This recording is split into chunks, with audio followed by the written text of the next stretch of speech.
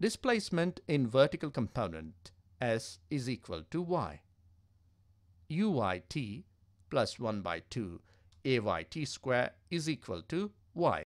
By substituting uy is equal to u sine theta and a is equal to minus g, we get y is equal to u sine theta t minus 1 by 2 g into x by u cos theta whole square. Y is equal to u sine theta minus 1 by 2 g of x by u cos theta square. From this we get y is equal to tan theta x minus g by 2u square cos square theta x square. Values g, theta and u are constants. Therefore, y is equal to ax minus bx square, where a is equal to tan theta, b is equal to g by 2u square cos square theta. This equation represents parabola, so that the trajectory of the projectile is parabola. The horizontal component velocity remains constant because there is no acceleration in this direction. The vertical component velocity decreases gradually and finally becomes zero at the highest point.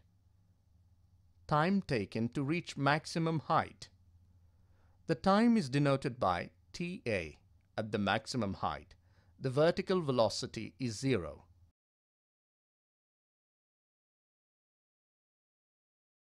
That is, Vy is equal to 0. From the equation Vy is equal to u sine theta minus gta is equal to 0. We get Ta is equal to u sine theta by g.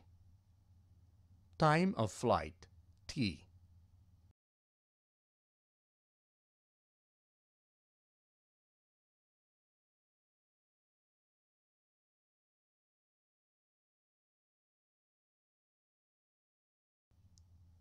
The total time of the projectile takes to reach the same horizontal plane of projection to reach point B is called the time of flight.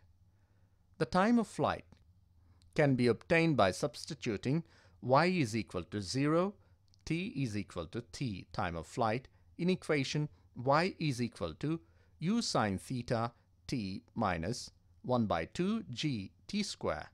That is, y is equal to u sine theta t minus 1 by 2 g t square is equal to 0. Therefore, t is equal to 2u sine theta by g. On comparing equations, ta is equal to u sine theta by g and t is equal to 2u sine theta by g.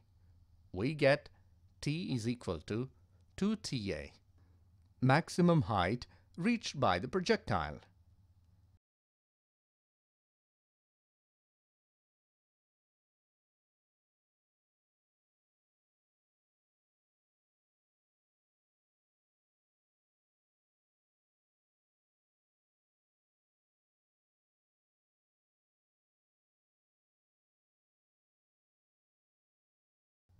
The maximum height reached by the projectile is determined by substituting time to reach maximum height.